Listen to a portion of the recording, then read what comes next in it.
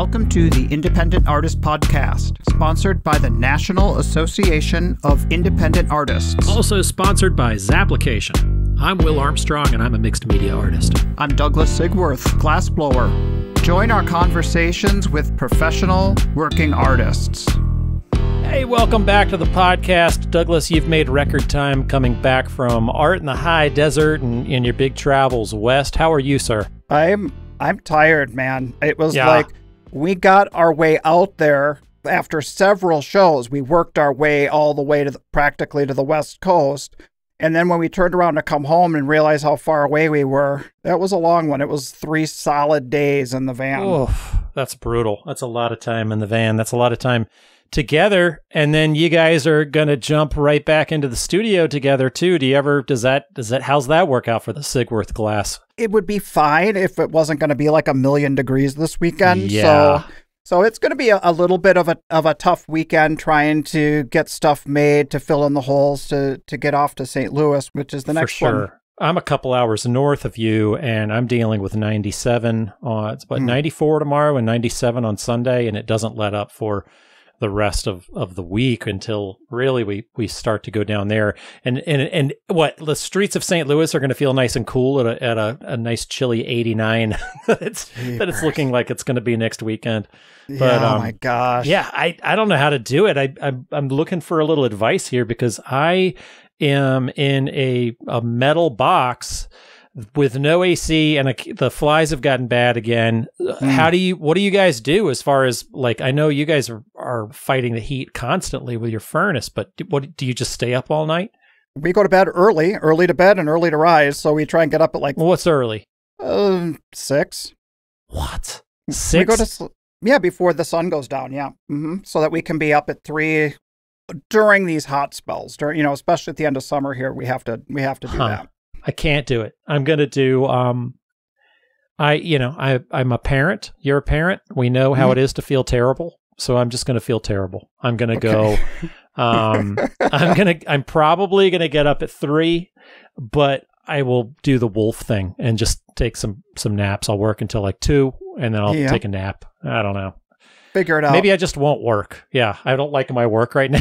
I'm in Oh, I'm no. deep in the self-loathing phase, so um, I don't know. We all Oh. go through that, but I'm I'm dealing with that. So I'll break out of it somehow. But man, it's it's some tough times out in the studio right now. It's hard when it's like the elements are fighting against you and you got to get through that. I mean, when it's crunch time, you kind of want to be able to just it'd be nice if things just started happening really like smoothly and and exactly the way you want them, but there's always these like stumbling blocks. Right. Yeah, I've got a neighbor right now. I had to I had to Karen out on her and Oh, did um, tell her to stop burning green wood right next to my studio.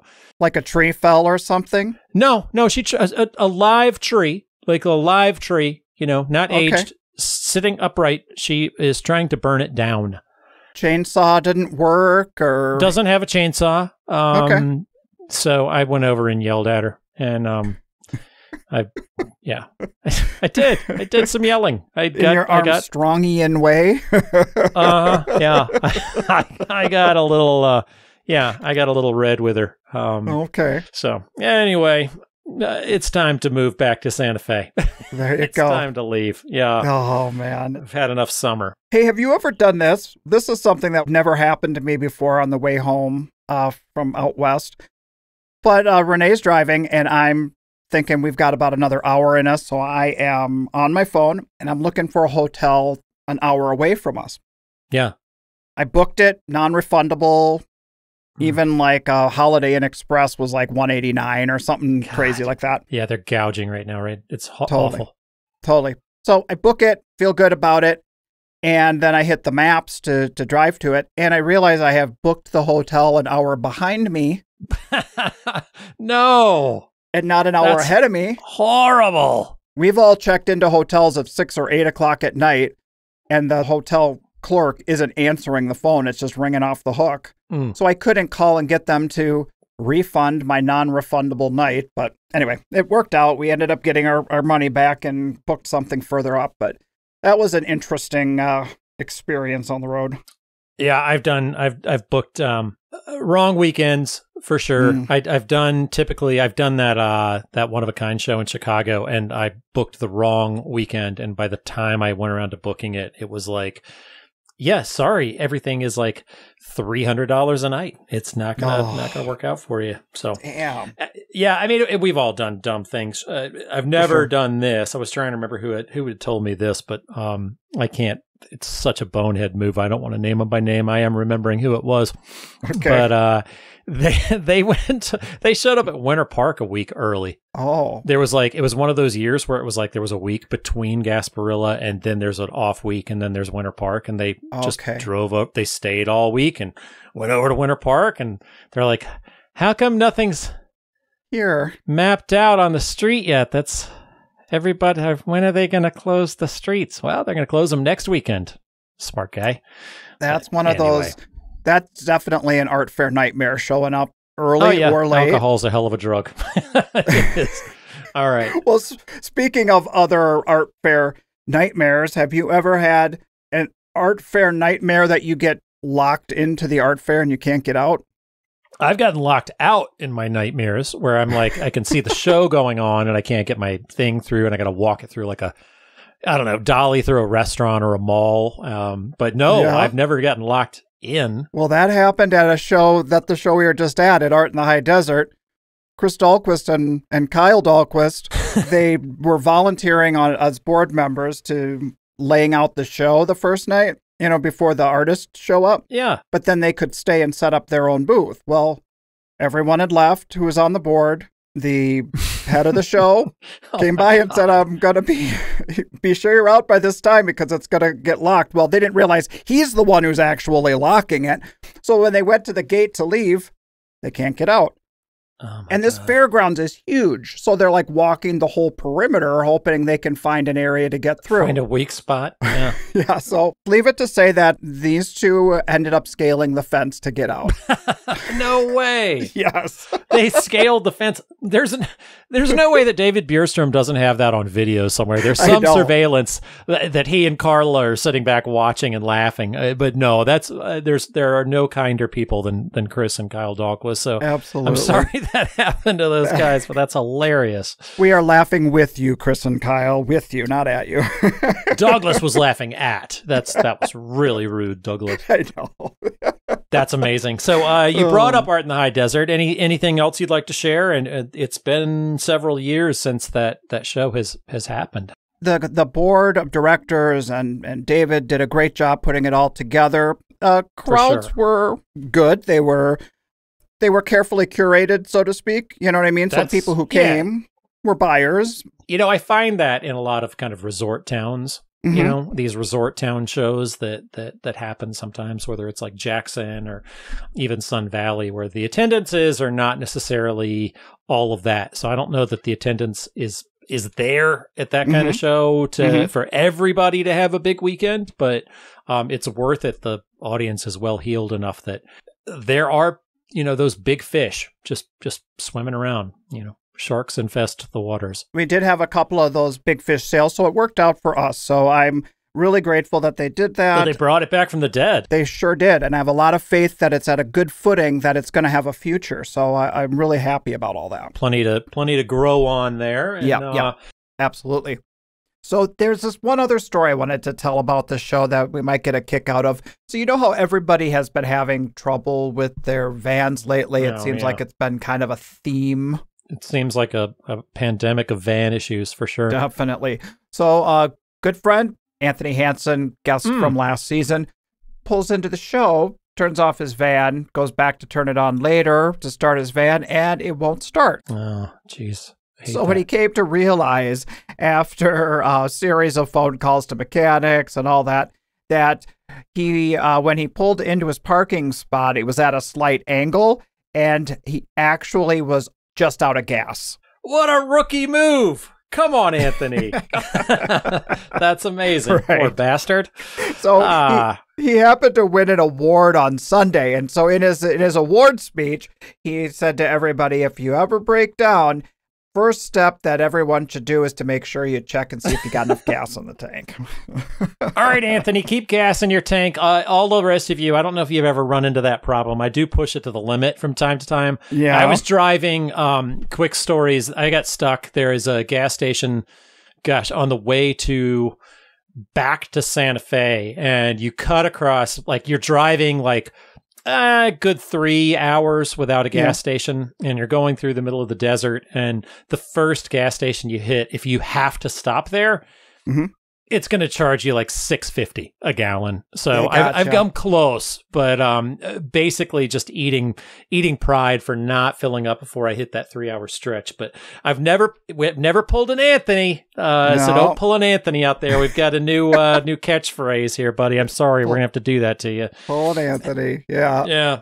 Hey, uh, the good people at Zapplication asked us to talk about something this week. Douglas, you got the email there. What do you? What do they? Uh, what do, What do they have here for Well, us? I'm sure a lot of us have gotten that email about uh, a survey. So Zap wants to put out a, a survey so that they can know, you know, what they can do better, what our experience is as art festival artists, just so they can, you know, improve their services and, you know, hear our point of view. Exactly. They're always growing. They're always changing the product that they are offering to shows as well as to us.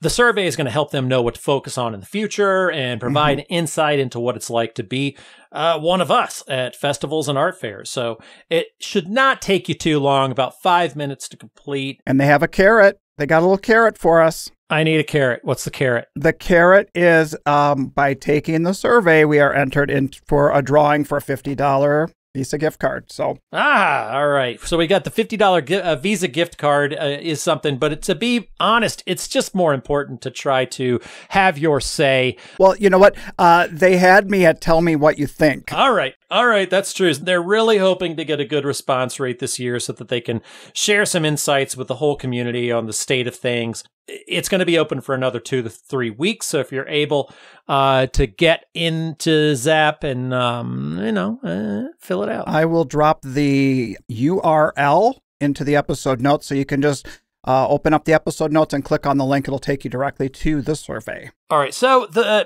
let's get right into it, my friend. You have a great talk coming up. Uh, let, let's let you set it up here. It's a, a monster in our industry and a an incredible uh, glass artist this week. That's true. She's had a very big presence that I have I've admired over the years. So I'm glad I've had the chance to sit down and kind of pick her brain and find out what it's like being her. So Marlene Rose. Marlene Rose is our guest today, sand cast sculptor, glass artist from Clearwater, Florida. This episode of the Independent Artist Podcast is brought to you by Zap, the digital application service where artists and art festivals connect. Well, sometimes I'm in a real hurry, and I just love that I have things that are saved in Zap to streamline my process. To that end, Douglas, one of my tricks with Zap is to favorite all of the shows that I'm even remotely considering.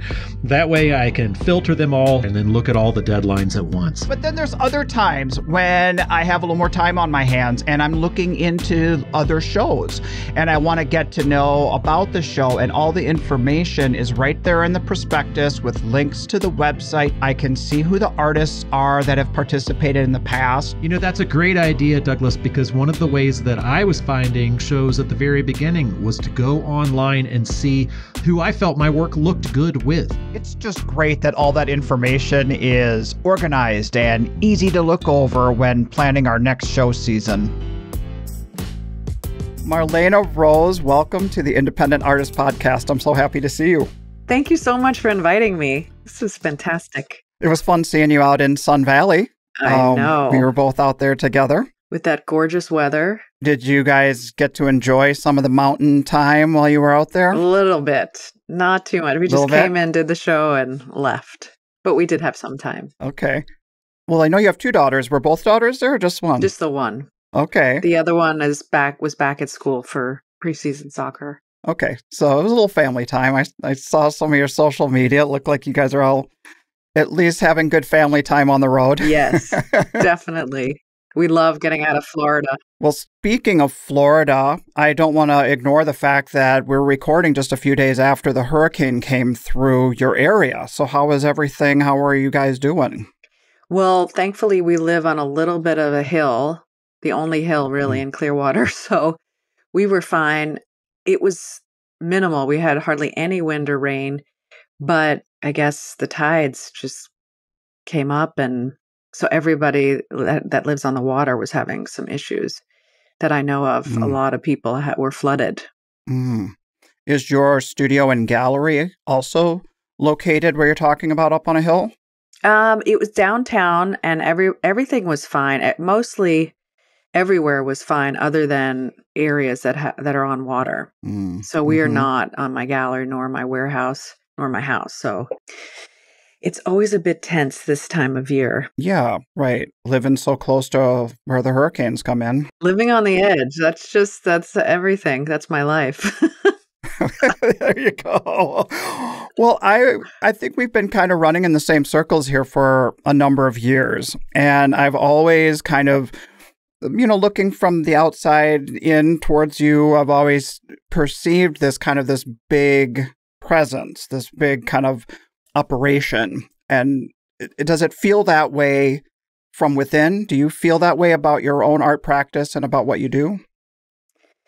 Well, definitely I have help and that makes it so it's it's easier to you know be an artist. I do have a lot of help.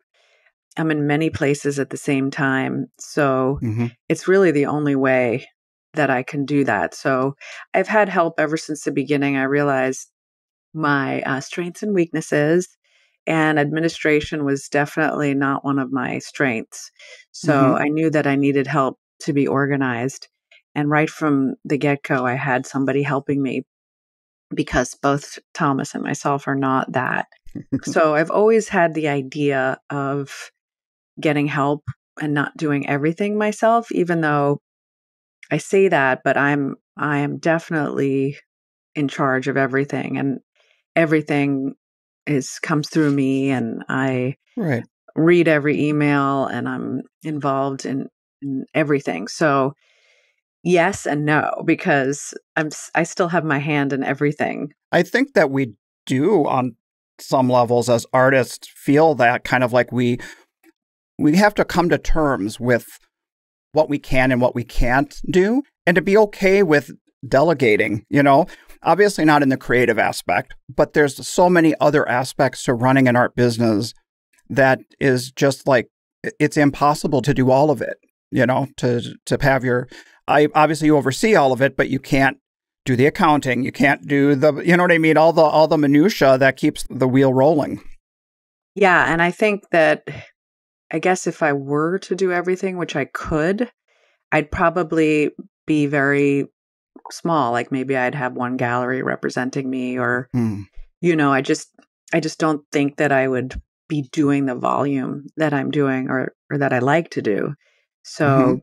I think that would be the difference. I mean, administration, I've learned how to deal with it and I kn- I know how to understand it and and do it myself, but I think that's probably the key to any business is being able to step in and wear the hats as necessary and and know how to do everything so that you you can get help. Well, part of that big presence uh, that I I perceive anyway is you've got your hand in you know the art fairs, the in person events. You've got gallery galleries, and then you've got like the store galleries, and then you've got your own gallery. Can you talk a little bit about you know what you all have out there that showcases your work? Yeah, so I have roughly a dozen galleries who represent me nationally and internationally. I have, yeah, I do the art fairs. going to be doing Art Basel, actually Art Miami, particularly Mm. this this fall, and um, and then we opened the Marlene Rose Gallery in Clearwater, more just as a, an office. But then I decided when I was looking around, the space came available that was in downtown Clearwater, and this beautiful 1920s building with brick. And I thought, wow, that this, this is a really nice place to work. And and then I thought it Mhm. would probably help the downtown bring people there to come see me. So you know, it was kind of a win-win situation. But yeah, we opened that gallery about nine years ago. Okay, nine years. Wow. So I sometimes get that area. I mean, I think of the greater area like Tampa, Clearwater, uh, St. Petersburg. And aren't there a number of kind of glass hubs in that area? Like, you know, you've got some Chihuly galleries and Duncan McClellan. Yeah, no, it's turned into, we call it the Glass Coast. Mm. Yeah, there's so much activity happening in, in my area. Uh, started with the Chihuly Museum in St. Petersburg. Um, and then Duncan McClellan and I used to work in the same studio. And then he went out and started his own thing. And that's really been incredible for the community. And then mm. um, the Imagine Museum happened a few years ago, which shows the studio glass movement, the history of the studio glass movement. So most people who know about Chihuly, that's who they think of when they think of glass. Now right. they have a context of, you know, all the people doing incredible things with with glass from the 60s onward, most of the artists being alive today. So that was exciting. I helped the benefactor put that museum there. I connected her with the collection. And I feel like it's probably been my best, I guess, matchmaking that I've ever okay. done because nice. it really has helped so many artists and our community to to understand what's happening right now in the studio glass movement. That's interesting because, you know, not a lot of people know that the studio glass movement is fairly recent. Uh, you know what I mean? I mean, obviously people think, well, Chihuly and, you know, he kind of put glass on the map, but there were a number of players involved that got us to to where we are now. Do you want exactly. to speak a little bit on that? Yeah, that's been one of my biggest purposes in all of this. I guess the greater purpose is to educate people on this studio glass movement that is happening right now. And it's very exciting. It's like this explosion of creativity with this spectacular medium that's been around forever, but mostly seen in um, blown work uh, throughout mm-hmm. history. And people started experimenting with glass more sculpturally in the 60s, with Harvey Littleton being one of the founders of the studio glass movement. And he started playing around with glass more sculpturally and and then it just started this attention on the material as as not only a craft medium, but a medium to communicate an idea. And so when I learned the technique that I do in the 80s, the early 80s, I found out later that the technique was new for glass. It was um, based on an ancient metal casting technique that has been around for thousands of years, and glass has been around for thousands of years. And um, but the union of doing this technique in glass just happened in, in the late 70s, early 80s. Mm. So when I realized that, that I was doing something that was new and different and pioneering this particular method of, of working, I was like, wow, what else is going on? And then I educated myself on all the different ways that people since the 60s have been playing around with glass as a sculptural medium and I find this to be very exciting because it's happening now and mm-hmm. most of the artists are still alive and most people like you said think of glass and dale chihuly and he put glass as a as a medium to communicate an idea on the map but that's all most people know so with this museum it's so educational as to all the different ways that you can work in glass and I, I find it fascinating. So, when you were first exposed to glass, was it glass blowing, or was casting always your entry point and, and what you knew right away? Well, what's what's funny is that I was getting my bachelor of fine arts, and I couldn't decide what medium I wanted to focus my attention. I really love painting and sculpting, mm. and I avoided the glass department because it intimidated me First off, I saw a lot of. Why is that? Why did it intimidate you? I just thought it was so physical and dangerous, and right. You know, you know, traditionally is a is male dominated, and I just thought, mm. well, I don't know how strong I am, and I don't know if it's it's for me because I I never was interested in in throwing pots and ceramics. I was always interested in the sculpture side of it. So glass Mm. to me equals glass blowing. So that that never interested me to take the class. But then eventually I said, okay, it's the only class that I haven't taken. All right. So I decided to try it. And what was funny was the professor, uh, Gene Koss, who is still there. I think it's his last year.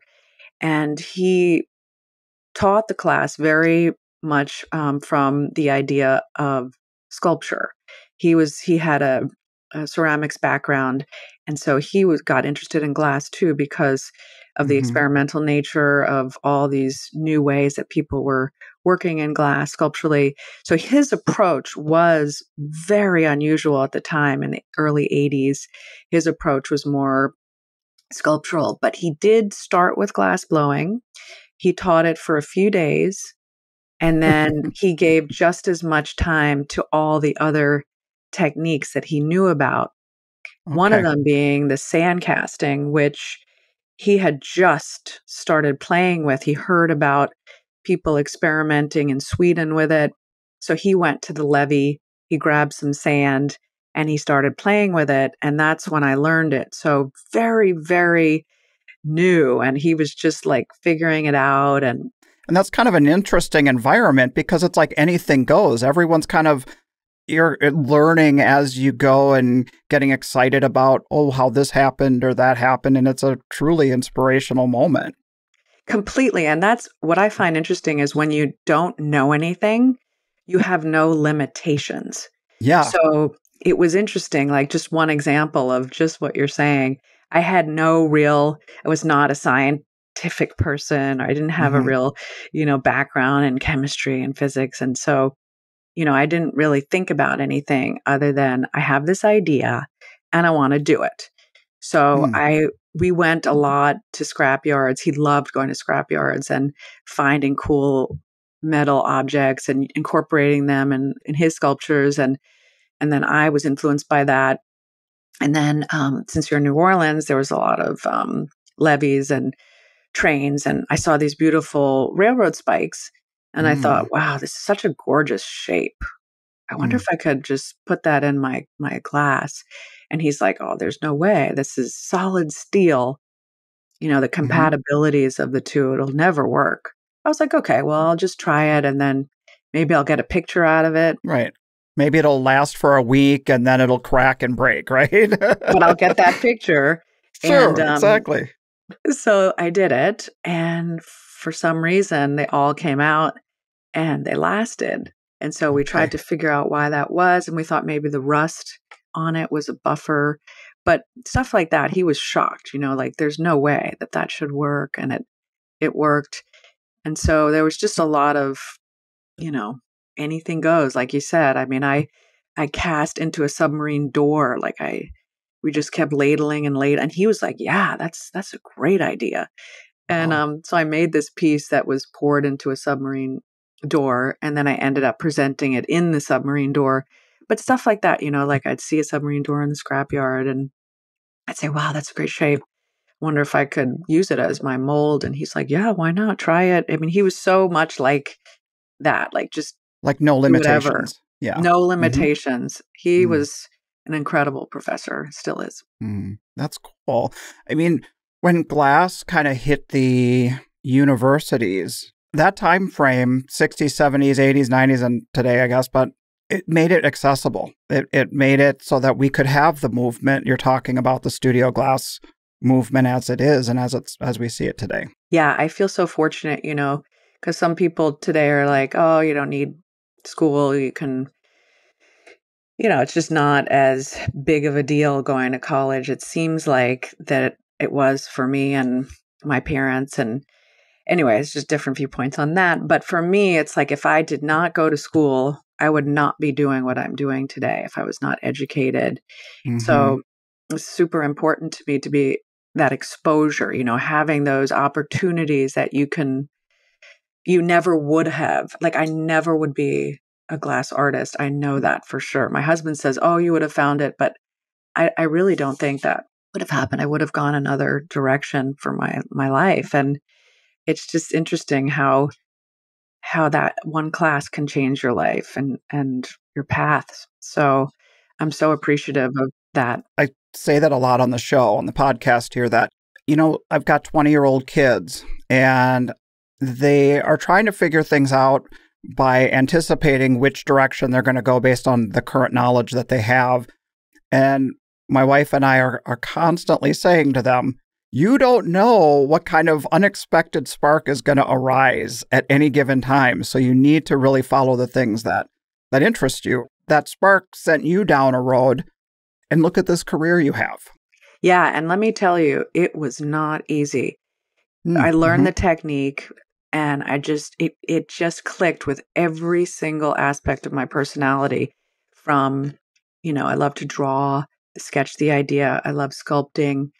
Um, I was really into sports and adrenaline, mm. and I, I loved, you know, crazy stuff. Like I love jumping out of airplanes and mm speed. I, I jump horses and I just like anything adrenaline. So who would have known that this, you know, like I said, I was intimidated by, for some reason, glass blowing and that it changed my life. But it's funny. And, you know, when I learned it, it was absolutely, it just, I knew that this is what I should be doing. And I was having real success at school. And then in New Orleans, I went and just went to some galleries and I asked them what they thought, more just like a critique. And I got picked up by a just incredible gallery and had a show as a student. Um, I was still in college. I was a senior. We sold everything. I had a great write up, and I was like, okay, this is my life. And I was like, that's it. And then I graduated college, and I was like, okay, now what? I know what I'm right. doing. I know what I want to do, but where do I do this? and know, and how do you do it? I mean, and how do I do it? There was no no no path because you know I couldn't just go to a glass blowing studio in the 80s and say I want to you know throw some ladles into sand, which is super messy. I want to take up your cooling ovens for roughly a week. yeah. you don't need them, do you? no, I mean, for us, our annealing time, we will have an oven full of blown glass and it's like a 12 hour cycle. Your annealing cycle, how long you said weeks? No, it, well, it can be with the bigger pieces, but typically about 100 hours, which is roughly six days. So yeah, that would week. be like, it's like my ovens are tied up that long and I can't put other work in there to, to anneal. No, no, no way. So that was, so right there was exactly yep. the problem I was running into. So I was like, okay, I'll go to graduate school because that's what art students do. They, they go to graduate school okay. And so I went to graduate school thinking I'd be able to just make work, which is really all I wanted to do because I, I found what I wanted to do. Yeah, and, right. Um, and so nothing wrong with learning more. And I was, was happy with that. But as a graduate student, you know, I was thinking I was going to make a lot of work, but it was a blowing facility that I went to. I went to CCA when the sculptor had just arrived on the scene. So you know, change takes a little time. So I thought it, immediately I'd be able to make a ton of work. Turns out it was once a week I was able to make my work and teach at the same time. Mm-hmm. So it was kind of a waste. And so I just decided to leave and, you know, was super frustrated and I didn't know how to follow this path. And, you know, it took me almost a decade before I convinced um, the studio where I'm at now that I was legit I was for real. I mean, I'm in my early 20s. And mm-hmm. like you said, is I'm going to take up your ovens. You're not going to be able to make your own work. When you use sand. It's going to be messy. Glass blowers don't like that. And starting out, it's not like a painter. You know, the the, the cost of building and having the equipment for your own personal studio, it's almost like the way to get there is to rent time from another studio until you have invested enough that you can start building your own equipment or buying your own equipment or whatever. So you were kind of in that tough period of how do I actually get to the end game of being able just to produce my work the way I want? That's so right. Because the studio, at least for what I need, you start at like a hundred thousand dollars to put it mm-hmm. together. So there's that's prohibitive to anybody who's just gotten out of college. There's exactly. just no way. They're so right. you have to find a place to rent. And I found this gentleman that I that I really liked and but he he didn't want me so he he came up with some huge figure that he could build me some equipment and so again I was just so deflated but I had the number that he said and I started working and doing other things and eventually 7 years later I saved the money and I said okay I'm ready and he's he was kind of testing me because he said okay well you can use my equipment, but we'll put this money towards you renting the studio. And that's how we started working together. But I think he wanted to know that I was serious. I wasn't just yeah, like like next week you're going to move on to a different medium of some kind because right. and I've hard. ruined all his right, right, and I've ruined all of his equipment in the meantime. And and it's not just taking up that annealing oven you glass casters, you soak through pots of glass like it's just like drinking water. It's just like dumping the glass. And you know, glass blowers can make our supply last a lot longer. But when you're going for those solid cast pieces, you go through glass like crazy. yeah. And one day I will pour roughly 400 pounds of glass. That's insane. Whole, a whole crucible is that is that the whole size of your what your uh, furnace will hold is 400 pounds? Yeah, so it's like about 350 pounds if we leave like a little layer at the bottom. But yeah, yeah, so it's a lot of glass that we go through. It's taking up the whole studio. Like you're yeah. in there. So there's days where that other person in the studio wouldn't be able to use use it. So you have to have a very particular type of studio that a caster and a blower could work in, which would be large, mm-hmm. with a lot of cooling ovens and a number of furnaces. So I eventually found the place and it's been fantastic. He's he's been so helpful and and it's been a great great partnership. I, I work, you know, I've been working steadily for the last 20 something years, mm. never taking a break you know, in the summers we take a break for hurricane season, but pretty much every year I work from Novemberish to May, June, and sometimes into the summer if I really have a lot of commissions. Yeah, that's a, that's a common question people ask glass people is like, you know, do you kind of produce work in seasons or periods? And we're like you, for the most part, we are like 24 7 year round furnaces running and except for maintenance type stuff. But yeah, we're, we're constantly turning it out. You know, it's it's a yeah, it's a race. it feels like a race sometimes. Yeah, you can't. People say you can't just turn it off when you're done, I'm, and I said no because you'll ruin you'll ruin the the equipment if you turn it on and off. Usually, so mm-hmm. it's just running for a year, two years, or when you need to do the maintenance. So mm-hmm. there's so much energy and expense in making the glass mm-hmm. pieces a lot of the conversations, you know, between different art mediums and stuff is, especially with glass folks, it is, it's how do we get over that hurdle of getting to a place where we can make the work that we want to make. You know, that is such a huge thing. Tony Cray and I had a, a conversation a couple years back in his episode, you know, talking about how he's he built himself the most inexpensive expensive framework, metal framework. Um, I forget the name of what he called it, but literally, we kind of have to do it in these weird kind of steps. You know what I mean? Until we can kind of arrive at the the right kind of space to do what we want to do, and then things get a little easier. You know, a little easier. Maybe. Maybe. Maybe. then it's like, how do we sell it? You know, all the all the other things you have to figure out as an artist, but really just getting to the point where you can make the work is its own kind of stumbling block. Totally. And I feel like, you know, people use well, they still do. They ask, is it tough to sell the work? Is it tough to let go of it? And I feel like it really is difficult, but I think it was more difficult when I really didn't have a way to make the work. So you kind of hold on to it like this is it.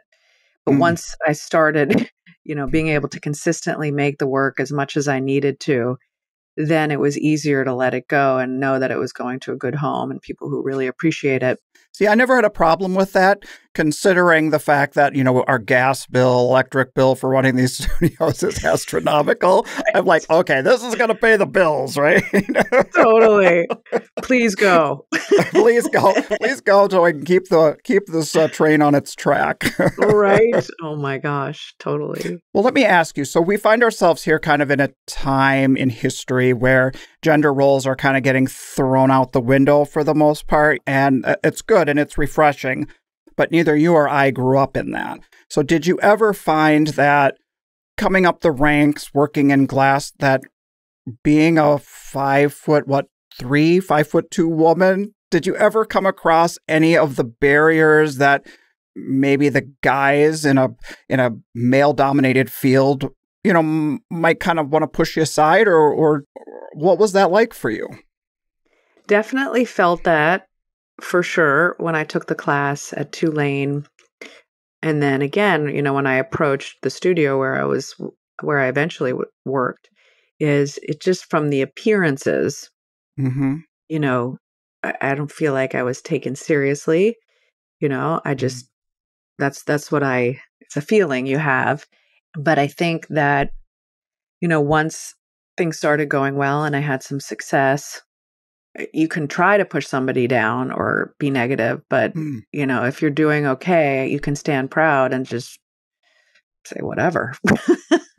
you found a way around, you know, it made yeah. you maybe more resilient. Um, yes. not that it makes it it's hard to be appreciative of the folks who maybe put stumbling blocks in our way, but it is part of the path. You know, for, for sure. a lot of us, it's the obstacles that that get us to the other side of what we want to do. Totally. For every difficult situation, I feel like you set up ways in which you handle those situations and then you're better on the other side that you can predict those mm-hmm. uh, moments and then you know how to handle it and avoid it or confront it or whatever it is but i do think that that that definitely in the 80s I, for sure was not taken seriously and i think uh, if I can just maybe put a little bit of my own perception or my thoughts on the matter, that, you know, perhaps the thought that, well, if you're female in this industry, that you need to do it all. You need to go in with the ladle and you need to scoop up that heavy ladle and dump it into the sand to create the form that you've laid out and all that stuff. But I'm sure that when those physical limitations come in, you can realize that the person just scooping the ladle isn't the artist. You know, they're the they're the muscle, but the creative is what you're doing. And so that is the forefront of the creation of the art and we can let go of those kind of like well, do I have to do it all? Do I personally have to have my hands on that ladle for me to be considered the artist? That's so true. And that is something that in the beginning, when I was young and a little bit more, I guess, strong, I would say. I, I mean, I'm pretty strong now, but it's, yeah, you get smarter. And I did have that viewpoint that I needed to do everything. Mm. And I did do everything, like I said, from ladling to the welding to every single part of it. Um, but then I realized that you know, I'm not going to make it physically. Physically, right. Um, You'll have a like a 5-year career or 10-year career and your body will be burnt out. Totally. I mean, one of the assistants in the studio got a hernia from throwing around big ladles and I just, mm-hmm. you know, it's it's very physical. So, it's not that I can't do it and it's not that I don't like to just keep my hand in it for fun because it is fun, but mm-hmm really, like you say, the artwork is in the molding, in the ideas, in creating the idea. So that mm-hmm. all happens, you know, before when I make the mold, during when I'm making the sand mold. Mm-hmm. And every aspect of it, like the pouring, I feel like it's just very mechanical. It's exactly. just dumping the glass in a hole. So to me, I would rather preserve my back mm-hmm. for the eight hours that I'm over a mold, you know, fiddling and getting it exactly right, as opposed to the hour and a half that it takes to pour the glass into the, the mold and put it away. And you're involved in the pouring in the sense that it, least what I've seen from, you know, what you have out there for videos is, you know, with torching and directing and cutting with the casting shears, you're still in there getting hot. You're not like you come back an hour later and say, Is it done yet? no, you're in there doing it. You're just not the grunt who's carrying those ladles across the studio. Yeah, it would be virtually impossible because of the volume. Like I said, the 350 pounds that we pour in a day. You know, if if I'm over the mold for eight hours and then I'm pouring for an hour and a half, I'd be dead.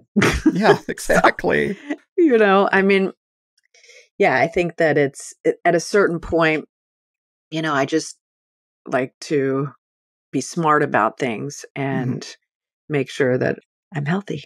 yeah. Well, a lot of us uh, who work with glass, we fall in love with that initial kind of like the molten fluid material. That that's kind of that adrenaline hook that you were talking about. But then there is a kind of a different kind of a love that we have for when it's finished. You know, like glass has a kind of a magic quality about it, in my opinion. Can you describe that kind of dichotomy between the different states? What makes it so seductive for you? Oh, that is such a good question. I think, like you said, from every single aspect of it, I mean, the adrenaline, like you say, I think that it definitely attracts the people who work in glass because it's so dangerous that, you know, it definitely lifts you up and it it you know it's like exercise when you're in that zone and mm-hmm. but when mm-hmm. i feel like you you're you could really hurt yourself you could die you could be seriously injured um it it really keeps you on your toes and something about that i don't know is kind of is addictive. It's actually an addictive thing that every glass blower, glass artist will, if they hear this, they'll know exactly what I'm talking about. It's just something mm-hmm. that I feel it. You feel it. And, and so that's what initially, you know, well, I told you everything about it clicked with this technique, but that adrenaline portion of it was just so, was just addictive. And um, I love that it was a dance I used to dance a lot. I love the mm-hmm. choreography, like you said, like I am in charge in that studio. That's for sure. I am the conductor of the orchestra in every aspect and every movement that I make. They know what I'm talking about. They know what I need. And so it's it's really fun for me. I used to love team sports and I love the physicality. I love the teamwork. I said it's beautiful like a dance. Everybody knows their part. You know what I'm saying. It is part of the big picture of why we love to do it. And that in itself, the making of is probably every artist feels this way is is mm-hmm. what what they love to do and, and why they do it. So but then, you know, envisioning how it's going to look in the end. And sometimes it's exactly as you think it is. But I think with with glass, it's it definitely has a mind of its own, and things can happen that you you don't predict or you can't predict, especially with some of the finishes or colors that we work with, and incorporating metal or experimentation of what you can do with the medium. You never quite know what you're going to get. I find that thrilling um, mm. not knowing. I mean, it's scary and on one hand, and you're trying something different and you don't know how it's going to end up. And that's also a thrill. Well, one thing I like about like your technique, for example, is I'm really familiar with how Renee and I work with flow and transparency and and smoothness. And yet you work with glass in a technique where you get texture and weight and there's transparency, but it's not as thin, it's more translucent. And I find the the different ways of working with glass just so cool that that you can achieve that. Yes. That is interesting because you know, I embrace the imperfections. I embrace things that just happen. I like the bubbles. Mm. a glass blower would be like, Are you crazy? Um, Blanco would say those were holidays. The bubbles are holidays. oh, that's funny. I love the holidays. Yeah. I love a good holiday. But I I love the imperfections and actually when you know, technically you, you get good and you get better and better and better. And sometimes I find the freshness of my earlier work when I wasn't quite as technically proficient, there's a fluidity that I prefer and I'm now now trying sometimes to get back there. Reintroduce it back in. Yeah. Yeah, where it's just a little bit more out of control, controlled out of controlness. Mhm. and um so that I, I really like that aspect I, since you know it's poured in sand it, the glass remembers the mold so it looks like beach glass or you know it was unearthed Mhm. and i like that it looks like a relic and that's the reason i chose this way of working those imperfections for me are so different than most people who work in glass that that is really exciting for me the solidity like how solid it Mm. you never want that in glass blowing you want it thin and Our teacher kept telling us, "Can you can you blow it a little thinner, please?" Right? And I'm here like, you're "No." celebrating the heft. You're celebrating that, right? so it's so opposite everything that i do is so opposite and sometimes i feel like you know i so can appreciate what glass blowers are doing and the technical proficiency and and the creativity it's just utterly different to how i work you know like i don't Mhm. like perfection and i don't like the way it looks that it's absolutely you know smooth and perfect so it's funny we're working the same medium and but yet it's so different It is so different. I have thought about your work over the years as kind of a feeling of like an artifact that would be, you know, maybe in a dig, an archaeological dig or something. It's like this treasure that was found. And part of it is like what you're talking about that the surface that is achieved from being poured into a mold in the sand it creates that look or that effect. yeah that's and that's one of the main reasons why i was so attracted to the technique was i thought it had a finish that was utterly unexpected for glass you know it just was so different when i first saw it and i just loved that it looked like it was an artifact or it was unearthed so i, I definitely play that up and try to incorporate that aspect in, in everything that i do i mean some bodies of work are not quite as raw but most Mhm, of them i like that. Like the horses that you're working on, they have a more of a smoothness to them, you know, and the Buddhas and some of the other pieces almost have like a spiritual quality to them. Is that kind of, are you kind of going for an in your work a, an essence of that, or for sure where does that all come from? Yeah, yeah that's for sure.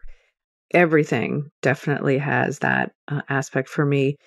The horses are very personal to me and important just because they're for me my way to escape and and gives me space i, I just got back into it about seven years ago i started riding again after about 35 years i did it as a kid and um, Hmm. it was my most favorite thing to do, but I just never had the time or the way to do it. And then my kids showed an interest, and so I was like, "Oh God, don't go up mother on that daughter horse." bonding. I was like, Right? "Okay, if I go up there, I don't think I'm going to get on down." So, and that's what happened. They lost interest, which I was um, okay with because it's pretty pricey.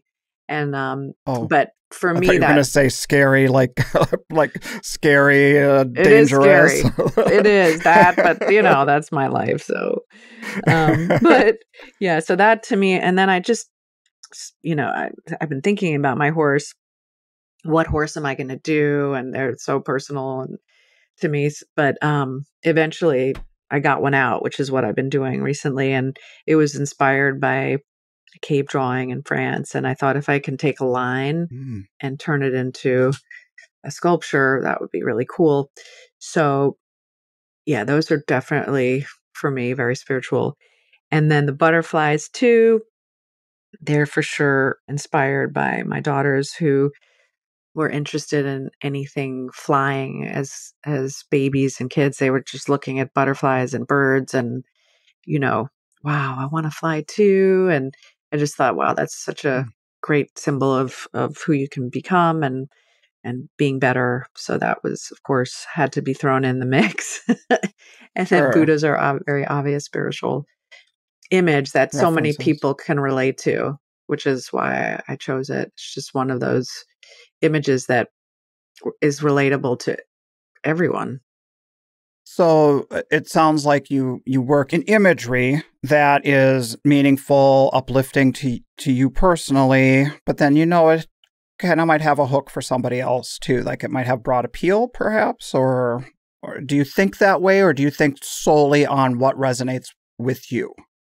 Oh, that's a question right there. I mean, I think that what university did for me was make me think about what I want to say and what I want to communicate and what's important to me and what you know, what is it that I want to say without any Yeah. commercial cur- commercial side to it. It's just like that's what what's so great about going to college and university is that it's just you get in touch with your voice Mm-hmm. but then you know i never quite expected that people would like what i was making during that period in college i was like wow really you know i just would get surprised when people wanted the work or liked it enough I, at first i was just giving it away if anybody said they liked it i was like oh my Here god it's yours. here you like what I'm doing? You know, because it's so pure. It's just like it's your thing that you're trying to say. And so then I saw that there was commercial appeal. So I was surprised, very surprised.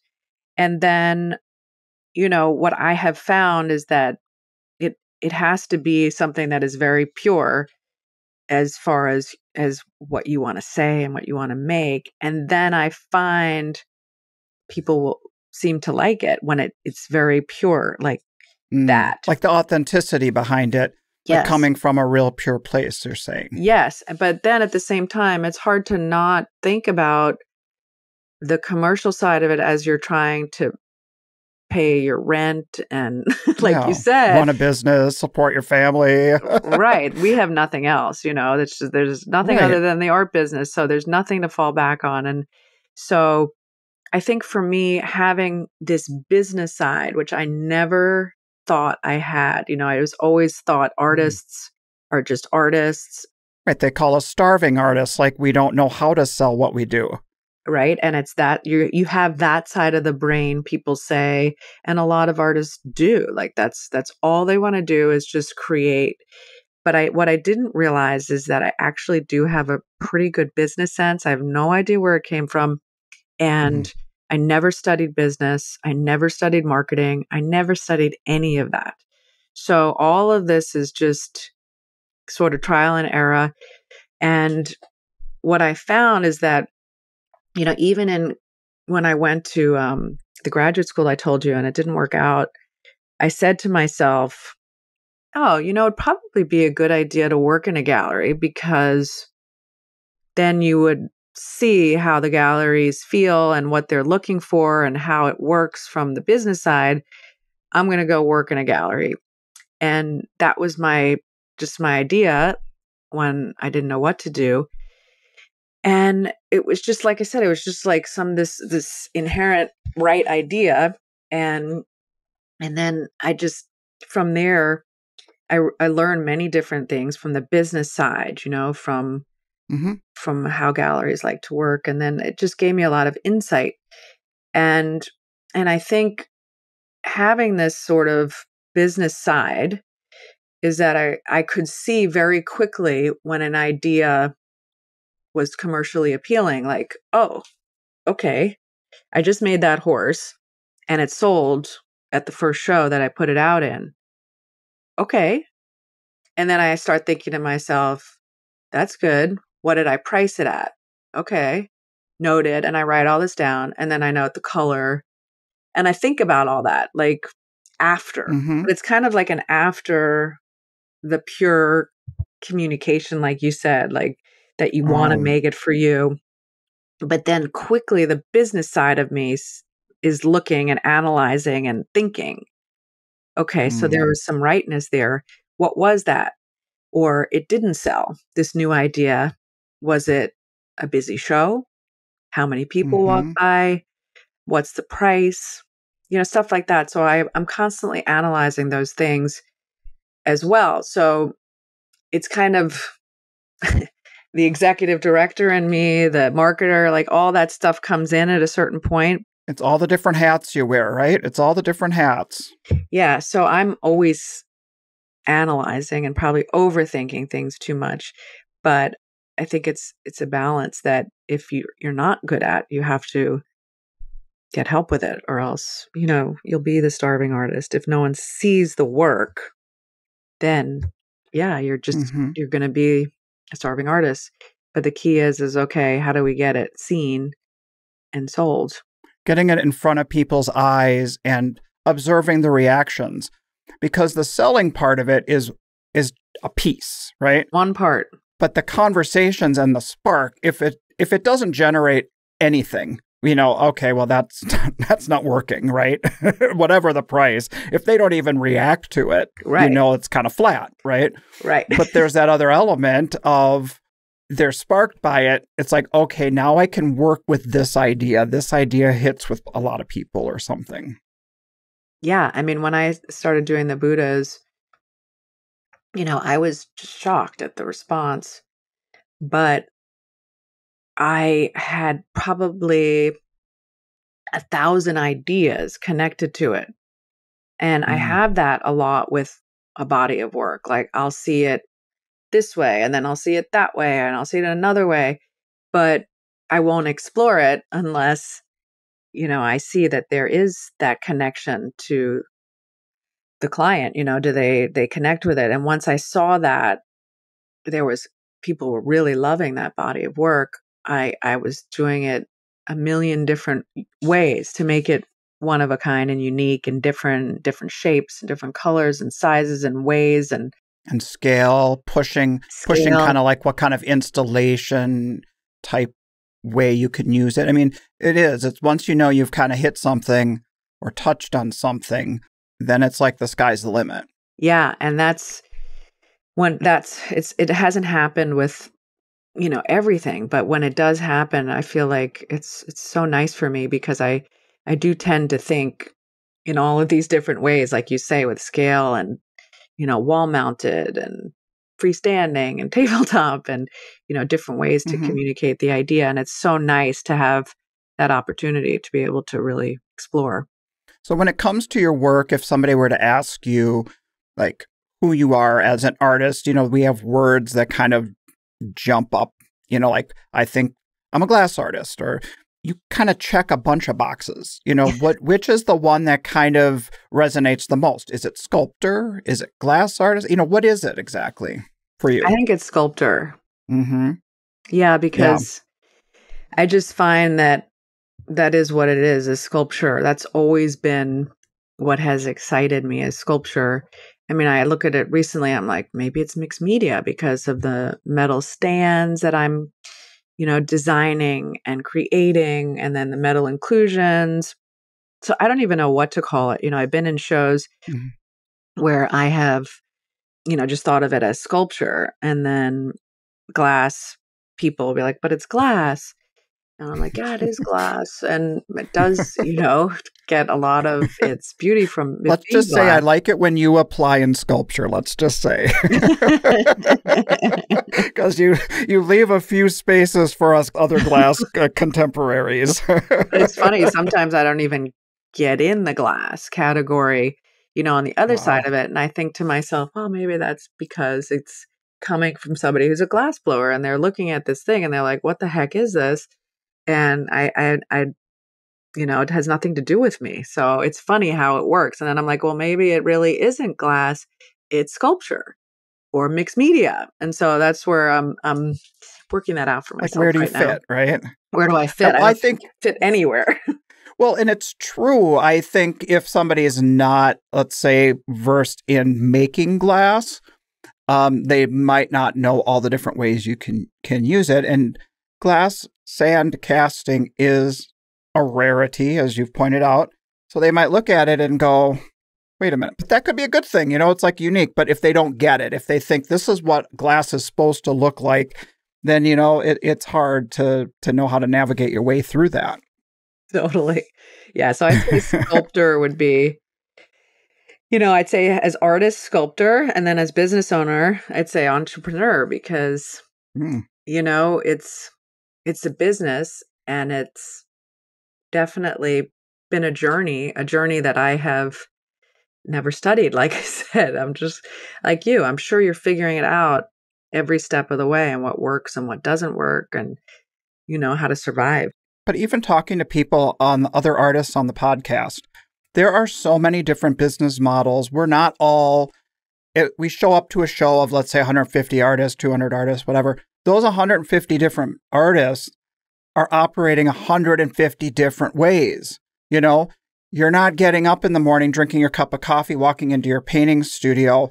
No other support staff around you do your paintings, throw them in the back of your, your van and head off to the art fair you've got more cogs in the wheel to to do what you have envisioned and what you dreamed up to do you know so it, it, we don't all have that same kind of layout Yeah, it's it's been an interesting journey because you know, after college and the way that it's promoted is is more of, you know, you should be in museums, you should be in galleries, Mm. and that's what an artist does. So that was the path that I went out on was getting with the galleries and getting the museum shows and that was all difficult because how do you get the museum shows without the experience or you know with the galleries and it was just like it was great and it was a wonderful road until 2008 and then 2008 came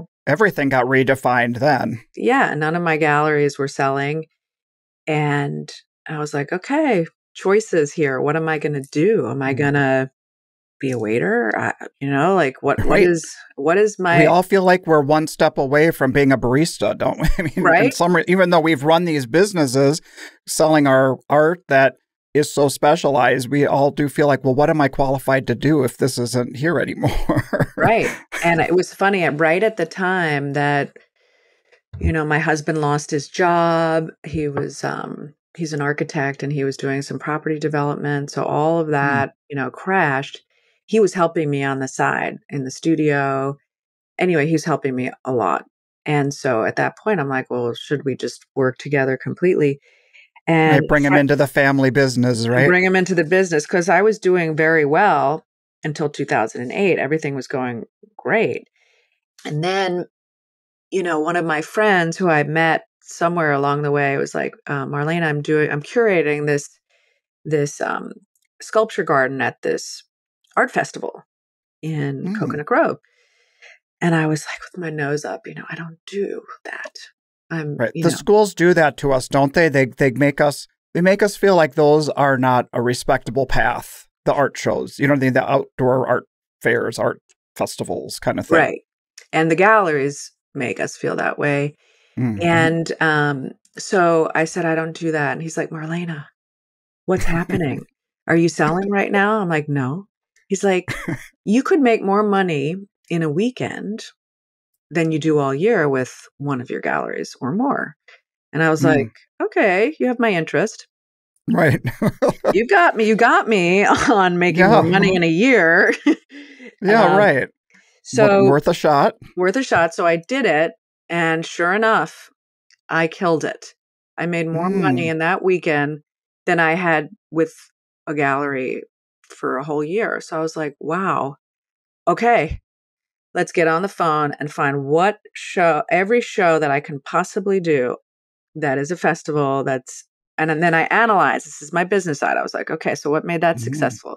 It was in a very, very upscale area there's a, like a hundred thousand people walk by in in a weekend. That's huge numbers, you know. So I needed to find, you know, Plus, maybe little did you know that that area is especially in love with glass. So, and this was, you know, what almost twenty years ago. So yeah. so then I started. Okay, how do I balance these two worlds that I'm in? Because I'm in this one world, who I know wouldn't appreciate this other world. hmm So I would just go to an area that I didn't have a gallery in and I'd try a show. So you don't compete with their So I don't compete with with, their collectors. Yeah. hmm Plus, I don't, you know, undercut the gallery. So it's the price is the price, you know. So I just make sure it's all the same. And that of course there's discounting in in galleries. So I would discount this roughly the same amount. And so there, you know, should be real no issue. And I've keep the worlds very separate. You know, I just try to to balance it. But, you know, it has been my my savior. It has been absolutely what changed everything for me. And what's so interesting is that, you know, I have a mailing list. And that is Mhm. probably the biggest thing that, you know, with galleries, they won't give you the name, um, Yeah. which makes sense because they're doing the work to close it and they want to be in control of that. And I, I Mhm. respect that. Also, if your administration is not good, like I ask everybody, how did they come to find me? And if it's they just saw my work in Gallery A, I definitely refer them back. But it's it's interesting. So I I, I definitely try to keep the two worlds separate. And what's happened recently with the decreasing glass collector base, every like glass like in every panel that I've ever ever gone to, it's always like they're a dying breed, the glass collectors, and Hmm. you know, how do we get new glass collectors? It's always the topic. And what's been and what's been happening for me, which I really love, is like as I said, one of my biggest missions is is educating people about the studio glass movement. So when somebody comes to a show that I do and they don't really know, they don't like galleries, they feel intimidated, they don't know about the studio glass movement, it's Mhm. like they get on my mailing list and all of a sudden, you know, they're getting information about all of these things. And I invite them to all of my high end shows that are at like the Art Basels. Every single person that I've met on the street will be invited to those shows. And what's been happening is that they kind of then start buying through the galleries. They either buy my work or they don't. But, you know, I've helped to bring so many clients to those shows and everybody's happy. The gallery is happy because I have a huge Mhm. following. I don't really care. It's like the, the client will get whatever they want. You know, they're going to get what they like. It could be mine again, wh- which you hope. But um, I look at the bigger picture. Yeah, so that's a really good question that I was going to ask you about was how do you keep those worlds separate except it seems like you really don't. It seems like you found a way to have them work interconnectedly. You know what I mean? Like you have no problem sending a collector to a gallery where you know you're going to get half of what you would have got if they would have came to you directly, you know? Yeah. So you, you want to keep feeding both of those funnels for yourself. Yeah. And I think that I try not to kind of hold back because I think Mm. if you just kind of are free with things, it'll all come back to you. I really firmly believe in that. And so I honestly, the only people I don't promote the festivals to are my collectors from the galleries, but I don't have their names anyway. Right, right. So If they saw you on the road and that's how you got their name, then you're not competing with your your galleries, you know. So, Exactly. Yeah, for sure. and so it Mhm. actually is is is actually good for the galleries because I'm bringing them clients. So, you know, I don't promote it to any of the galleries that I'm doing these festivals. I just kind of keep it on the down low and at the same time they know that I do them because I'm constantly bringing them collectors and and they have to wonder where are these people? How do they know about you?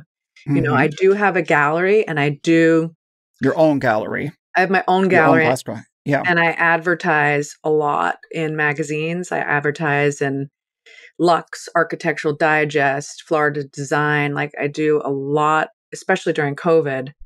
That was, you know, the way that I could get out there because I was not doing any shows, no, nor was mm-hmm. anybody else. Thank God for that mailing list because I had somebody to write to and reach out to during the pandemic. I don't know Right. What other artists did. I really don't. That that got us all through. That got all- any of us who are still standing. That's what got us through was those contacts because they wanted some sense of art and connection with other people, connection with an idea, something that was meaningful. And so we did find that it was scary, but a lot of us came through it.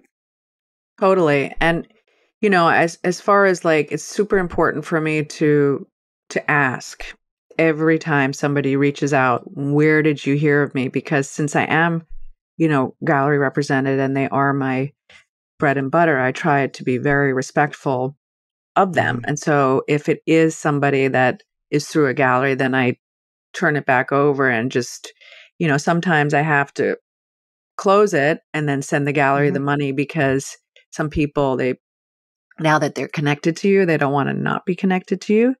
So Mhm, it's mhm. just you know, I just try to keep it really honest and clean and and um and then I find just things go better and and I sell to my list as well and you know, it's it's it's all fine, I guess is what I would Mhm. say. It all works out. Mhm. So you mentioned earlier about your husband Thomas when you know in 2008 he came into your business of art and now he is a full-fledged part of it all these years, you know. So how would you describe how that transition worked for the two of you?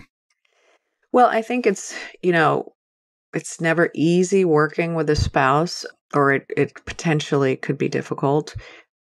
But I think that we learned pretty quickly what each one's role was. And it's for Mhm. sure my business and my artwork. Now, he is a you're very the you're the boss, right? Yeah. He's a, I'm the boss, and as long as he knows that, everything's good. No, he's um he's super creative and Mhm. very much an artist. He just chooses to help me. I think he might do some of his own work one one day soon. But Oh, cool. um but it's funny whenever he has influenced my decision or I was like, "Oh yeah, I like that." And it kind of went in in more his I guess less my thought and more his thought, it never sells. Which is so fascinating to me about just being true to yourself. Like you know, even in marketing and when I talk to people who are into marketing, they're like, you just, you know, the people who are huge on the social media is- is that because they are just being themselves. And I was like, that's so fascinating because that that happened to us, you know. It's like whenever he Mm. was like, "Oh, let's do it this way." And I kind of like lessened myself for for thinking that's not really what I wanted to do. But I was like, "Oh, maybe he knows better." And uh never sold. It just like it was just Mm. never and then we realized we're like, "Okay, this is the sign that it's not a collaborative effort Sure. this is this is my work and so he's very he never gives his unless i ask an opinion you know do you like this better or this better? Mhm. that's fine but but we never really creatively go anywhere other than what i think we should be doing. So that's worked out really well. So there there are some growing pains as far as he's been in charge of his own world and business and stuff like that. An architect is a is a, a extremely creative field, but it's different. And so to apply uh, to apply that, you know, that experience to what you're doing, maybe that's where some of that that tension came in with with the reaction to the work when maybe you were leaning more on on what his idea might have been, you know, to say, well, let's try it out and see. yeah and i thought you know i was just a little insecure about my ideas and and but we we saw that it just funny that they just never sold and so i i just thought that and i said to him when you do your work and you do you have your voice it's important to, to just do that and not i shouldn't put my input of what i think you should be doing so Mhm. that's really good. But he has other strong, I mean, he's knowledgeable in so many things that I, I really need his input, like the engineering of some of the larger scale pieces. And, you know, cool. Right. that is vital to like them withstanding weather, the ones that go outdoors. And so that's where we're really a great team because I have the ideas Mhm. And then he helps me make them into a reality of, you know, structure. And, and now I'm getting pretty good at being able to just suggest what should be done. And then he'll put it in a way that, um, you know, that it translates for, for the welding and he'll put it in a program that is Mhm. very, very translatable, which I wouldn't do. So that's where I think we're a great team and he's he's great with curating and so am I and we work well together on that. We usually agree. So we work well together and then he will drive a lot of the time and when I'm I mean my kids are 14 and 16 so sometimes I'd have to stay back with them when he was driving so that I could be Mm. with the kids and for school and stuff. So it's it's been a, a really great road, you know, having somebody who's who's that supportive and behind you at right there with you the whole way. Oh, that's awesome.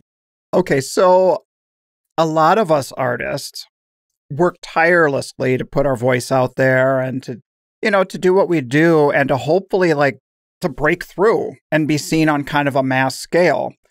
And you've actually experienced that with like the national CBS this morning picked you up and and did like a 10 minute feature on Marlene Rose. Could tell me what that whole process was like for you. Oh my gosh, that was the, I probably that was the height of my career. I I couldn't believe it, but um you know, I had wanted to be on that show. I thought that's one of the few shows that I would fit, you know, of all the different Mhm. shows we could we could possibly be on. I just liked it cuz it was good news and usually about artists or animals, just right up my alley. and um so I uh one a friend of mine who had worked with CBS saw came to my first solo museum exhibition in um what was it 2007 and she said, "Oh, you should be on CBS Sunday Morning." And I didn't know the show, but I researched it. I was like, "Oh yeah, I would love to be on that show." And she was she was in with the show because she had helped them find this uh person that was ended up being an award-winning show for them. Mhm. So I had Yeah. it in there, and so she she showed them my work and me about me, and they said that they really l- loved the work, and I was definitely CBS Sunday morning material, but I wasn't far enough along in my career, and so Ah, for them they needed certain criteria for them to do put you on the show and so they were kind enough to tell her what that was. And it was Hmm. what i was doing already which was the you know the very high end art fairs like the art basel type shows and mhm. being in museum collections and just different stuff like that so i i was doing that here and there but they wanted m- more of that so once I had more of that, then we reproposed me to the show and they said, yeah, she's, you know, we'd love to do a show on her, but we just did a, a glass artist. And I don't know if it was Paul Stankard. It might have been Paul Stankard. Oh, And- okay. Um, so they weren't going to do a, a glass artist for a while because I guess they vary that up. And then a few years later, I had, you know, a lot going on. So they were ready, but nothing was happening. They said they wanted to do the show, but then I wasn't getting a correspondent. And so this lady suggested that I, you know, they're really into that sun. That's CBS Sunday Morning Sun is their symbol Mm. said, if you wouldn't mind, I mean, it might help our cause if you make that sun for them. So I made I made the sun. I sent it to them, and the executive producer f- flipped out over it. Wow. It just meant a lot to me because you know pictures can't really do the work, can never really do the work justice. So he got I feel that way too. Yeah, with glass, it's so hard to translate. yeah because it's a moment and then it's different another moment because of the light so when he saw the work he was just like oh my god who is this and you know, our producer was like, that, that's Marlene Rose. You said you wanted to have her on the show. And he's like, oh my Uh-huh. God, I want her on the show now. And can I keep it? and can I keep the sun? There you go. And, um, they're like, yeah, of course. of course. And then it was funny because I was, they were thinking about putting me on like some, I don't know, it wasn't a, a great slot that was viewed by as many people. And then once he saw the work, it went to their season premiere show. It was, um, so it went from nothing to everything. Like I was in between Hillary Wow. Clinton and Olivia Newton John, and I couldn't believe what happened. And that to me was just like, it, it felt like because he got to really experience the work. And it was, it Yeah. was, and that made, I don't know, that just meant so much to me because that's what you hope that people will be moved by your work. Well, there's an energy to it, and once they holding it and in the in the same space with it, you know, it resonates so much more than an image that's being sent to them for sure. So yeah, it it, it transcended. There have been communications for a while. that that was what pushed them over the edge. It sounds like. Totally. And then we got their best correspondent that we just they flew down. It was like they were there for days at each location, the gallery, studio. They went to that show that I did, the museum show, Mm. and they so there was three, you know, diff- four different locations that they came to. And um it ended up coming out the end of September 2019.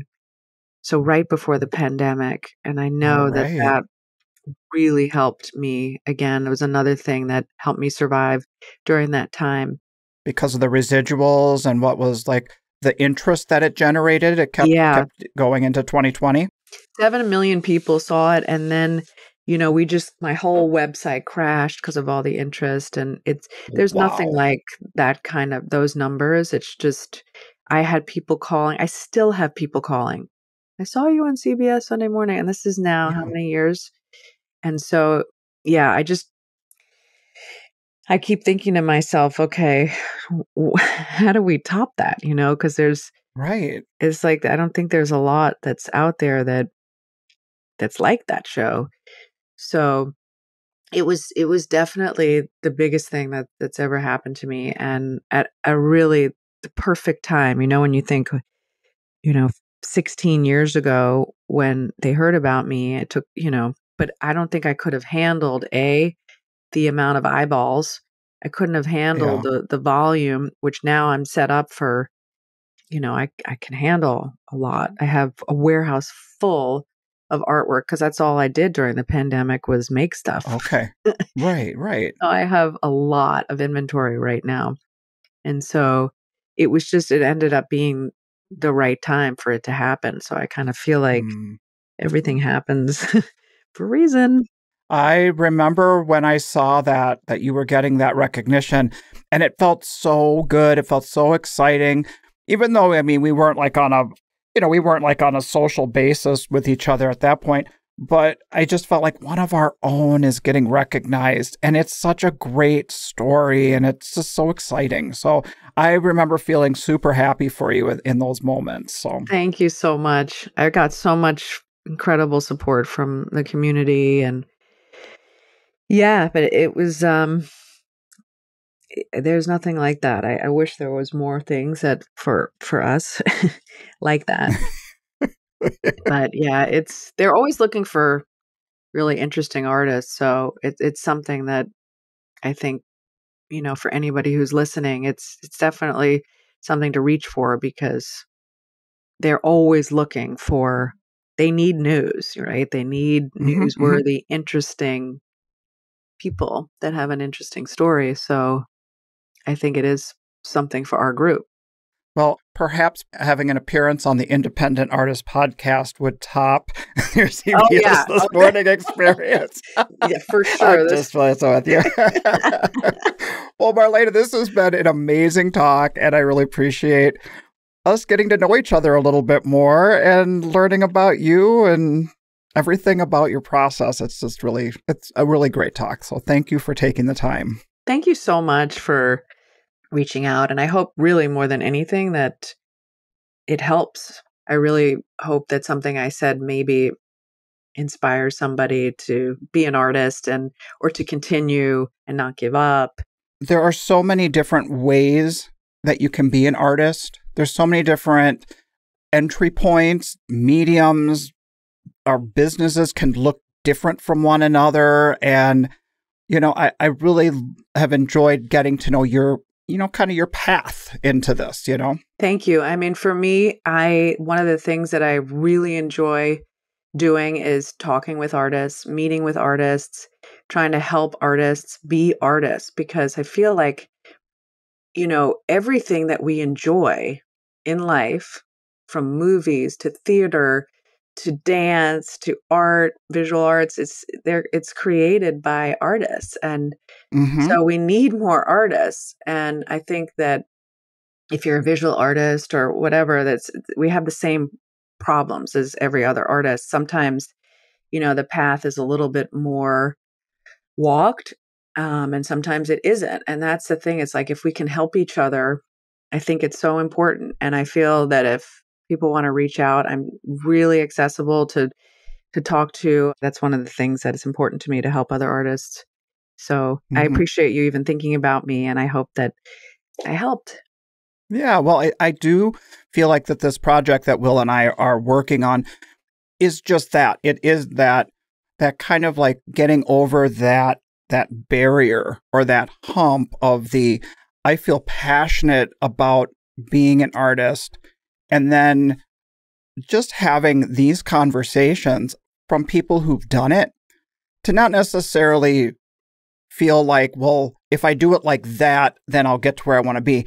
But it's to know that that person stuck with it and they found their way through to the other side and they have these successful careers and have happy lives. I mean, aside from the successful career, really what we're doing is we're building a life for ourselves that is meaningful and that you can do that. That those people who tell us as young kids that being an artist is not a way to make a living, well, we're proving them wrong there. So yeah, that's right. Yeah, it is, and it can be. It, like you say, it's a what you're doing by bringing artists on the show. I think is just helping, and that's so important. And I, I appreciate what you're doing, and I appreciate that you asked me here because it is, it is a business like anything mm-hmm. else actually there's no there's not mysterious thing about it it's you know you can go the gallery route and and pick your galleries well do that mm-hmm. you know what i mean like right. let them run the business then and them do the business side and the marketing and that's fine that is absolutely fine you know you mm-hmm. have to pick your galleries so that they're honest you know there there mm-hmm. are ways to do it there's so that's the thing is like, you know, when I meet with people, it's also, okay, what is your purpose as an artist? What are your goals? Is it to be recognized? Is it to mm-hmm. survive mm-hmm. off your art? You know, because there's many different reasons mm-hmm. for doing the art. And you just, once I know who I'm talking to and what, because they could be somebody that doesn't need to make a living, they just want to get out there and then I can help them with that. So, anyway. Right. I remember a period in time when Renee and I were kind of finding our way. And we thought that doing the wholesale markets where we would sell to galleries, store type galleries, and gallery type galleries. And I got there and it was such a rude awakening because there were so many different kinds of studio glass artists. And I remember the advice I got from somebody, and they said, You need to make the decision what you want your business look like? Do you want to operate under that threshold of where you have employees doing stuff for you that is on menial tasks or whatever? You know what I mean? That is employable, not in the art creating part, but the other stuff. Or do you want to cross that threshold and and be supporting a staff and for some people, that makes sense. And for other people, staying below that line makes sense. But it's definitely like you can cross that threshold. And if you're not making what you need to with revenue to support the whole organization, then it can all come apart. So it is definitely kind of like knowing who you are as a business and who you are as a person and how you want your end result to turn out. There's just, there's no one right way, so to speak, you know. Totally. That is so true.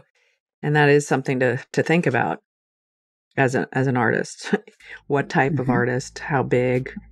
Do you want staff? Like you said, it's all important.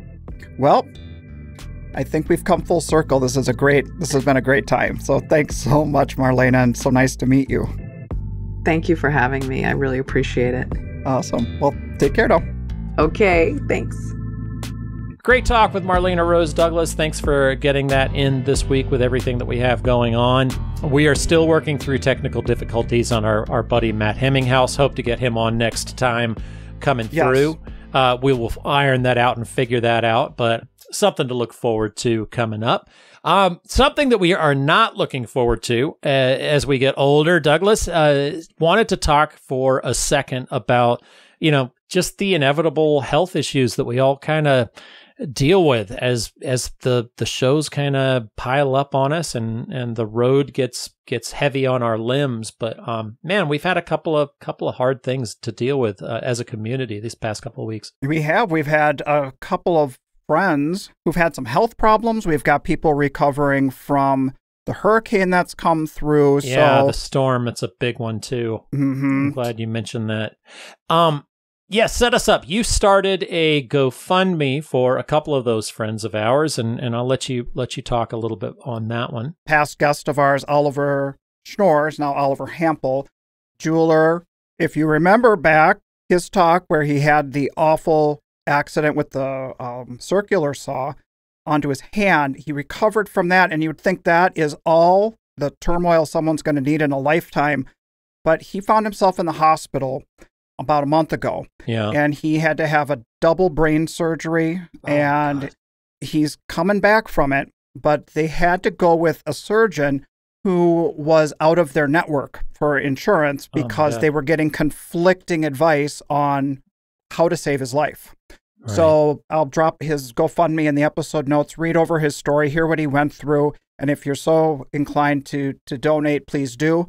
And um, yeah, and there's some other people out there that will drop their their GoFundmes into the episode notes as well, so you can read yeah, I was going to mention one. Um, you know, our, our good friend Amy Lansburg, who is uh, a, a board Mhm. member of NAIA and has done so much for our community, really took a massive hit during um, the the latest hurricane. Her home, uh, God, it's still under what seven, eight trees minimum. I saw this thing. It looked like you know when when the wind blows and you have tall grass in your yard and it kind of blows flat. That's what the pine trees look on top of her home. So um, that's another important one. She's, like I said, not just a, a dear friend, but a, a, a good friend to the community as well, and all the work that she's done for the board of NAIA. So I'm not sure if there is a GoFundMe on that one, but they had been posting her Venmo. I know it's in the works, so I will reach out and make sure it gets in the episode notes. And and then there's also Carol Greiwe, who also suffered from a, a, a stroke. So she is part of the team with Art and the Pearl in Portland there, who's putting on that event. So a lot of you who just did Art and the Pearl are going to know that she's not at the show because she's recovering. So keep all these people in your positive thoughts and send them good help if you can Yeah. look out for each other out there. Absolutely. You You, never know what's going to happen, and and even if it's just uh just just some kindness to do that, whether it's it's just a, a helping hand or or a kind word, it, it it means a lot to to these folks and these valuable members of our community that that do so much for us. Well, as I look at the time here, uh, Will, it's probably supper time for you and bedtime for me. So um, I will catch you in a couple weeks. We'll see you in Sounds St. Louis. good. All right, bye. Bye.